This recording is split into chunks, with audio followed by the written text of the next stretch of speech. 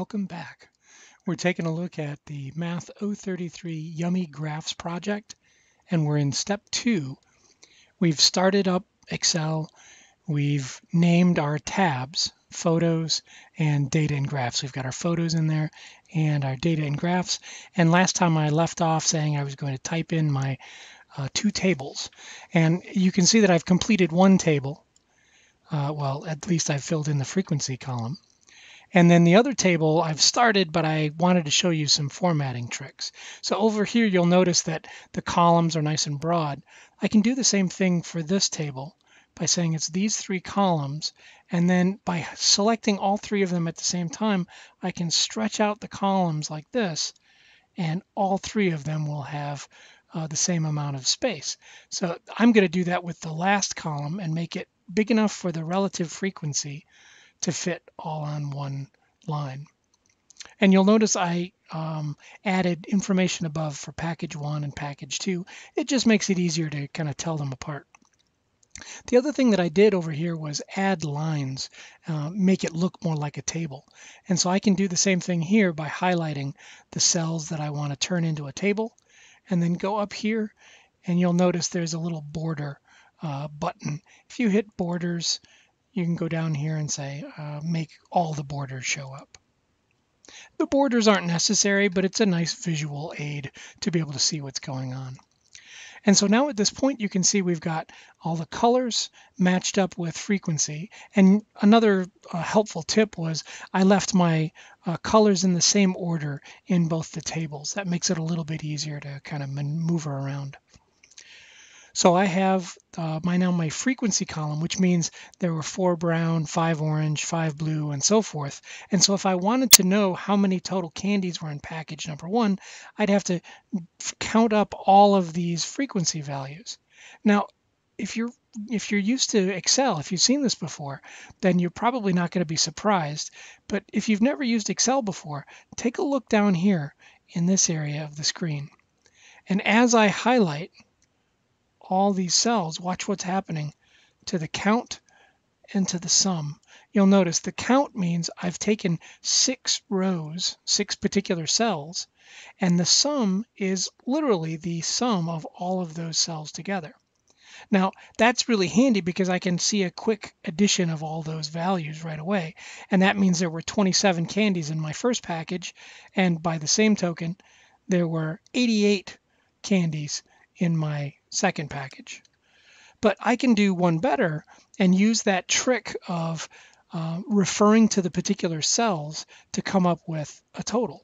So that's what I'm going to do. I'm going to program Excel down here in this, this cell right beneath the frequency column here. I'm going to say equals, and this is where we have to do a little bit of programming. We're going to say equals the sum, S-U-M, parentheses, and then you'll notice underneath it says number one all the way through and, and kind of add your list. And so all I'm going to do without clicking on anything, um, I just typed in that open parentheses. Now I'm going to move my uh, my mouse up here and then I'm going to click and drag. So push down on the button and drag down and you should see it highlight all the cells that I wanted to add. Notice what, and then when I let go, notice what it says inside the formula. It says find the sum of all the numbers from B3, which is this cell right here, all the way to B8, which is this cell right here. So this, and to close this out, I'm just going to type in a closed parentheses so that Excel knows that's my full sum right there. And if I hit enter, it tells me exactly what I knew the total was, which is 27. So I can do the same thing over here for my second package just by again typing equals. So put your put your cursor or put your mouse on that, click on that particular cell, and then type in equals sum, open parentheses, and then we're going to tell it what numbers. So I want you to add all these numbers right here. Remember that's a click, single click, hold it and drag down to the bottom of the list. And then close the parentheses. When I hit enter, I get the total. And so that's really handy for being able to add up uh, a column of numbers. And remember the other excuse me, the other nice thing here is that if I made a mistake and I said, oh, I actually had six orange, if I change that value inside this particular cell right here, if I change that to a six, notice that my total readjusts. And so the the, the, the magic of the Excel spreadsheet or spreadsheets in general is that you can program them to do mathematics and then change some of the inputs. You can change around some of these values and all of that programming stays in place. So right next to it, we have the relative frequency column, which if you remember from class is really just saying what proportion of the data are in belong to that particular uh, row, or in this case, color. So we know that there are four brown M&Ms in my first package out of 27. And so in order to do this, you could just say, what is four out of 27? I could pick up a calculator and do the uh, calculation and then type in that number. But that's not what we want to do here. We want to use Excel to do all the calculations. As a matter of fact, in the project itself, you'll notice it says fill in the frequencies with the data and then use Excel formulas to compute the relative frequencies for each row. So what we want to do is use Excel formulas. So that means I'm going to say for this particular cell, in, in my table it would be C3, I'm going to say this one equals 4, that number right there, divided by 27. So if I just type 27, I get an answer. That's the relative frequency of brown M&Ms in my first package. Now the really, really cool thing about Excel is it's pretty smart. It can kind of figure out what you want to do. So notice I typed in B3 divided by 27. And if I step down here, I could, I could do the same thing for here. I could say equals this cell divide by 27. And I could do this for each cell, each individual cell, but there's a better way to do it.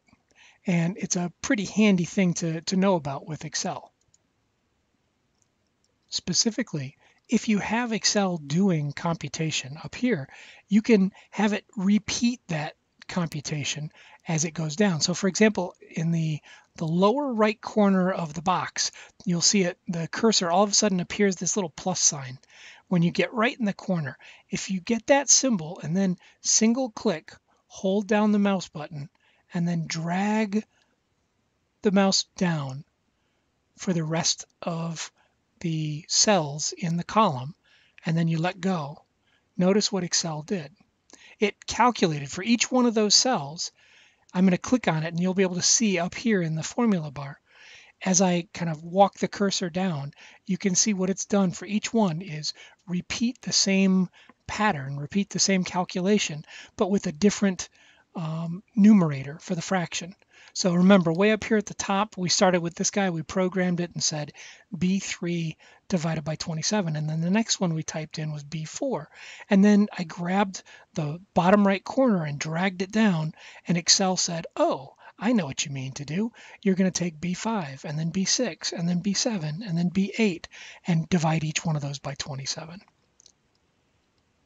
Now we can do the exact same thing over here, but again, we only need to do it once because as soon as in this particular cell I say equals and then there's 19 of them that's the cell right here F3 divided by 88 so I just type in 88 and hit enter if I drag that down I wind up with the relative frequency all the way down for each one of the colors in turn. Now you might be wondering, I'm going to kind of back it up here and undo that calculation. You might be wondering why I didn't, when I typed in the formula, why I didn't say F3 divided by this cell right here. And I'm going to show you what happens if I say, if I hit enter, I get the exact same answer. Right? That is the exact same answer as it was before. The problem is that if I grab the bottom right corner and I go down like this, something weird happens you'll notice that this cell right here says F4 divided by, so F4 is this cell right here, that's right, divided by F10. F10 is this cell right here. So Excel thought what I wanted it to do was to take this divided by this. And so the next one down here would be this divided by this, and there's nothing there. Now, there is a way to fix that. There's a kind of a, a way to get around that, and I'll show it to you real quick. If uh, in the formula, you uh, have F3 divided by the very first one that we did, F3 divided by F9. If instead of typing F3 divided by F9, you typed F3 divided by F and then dollar sign, that's shift 4, dollar sign 9, and I hit enter, you won't notice any difference.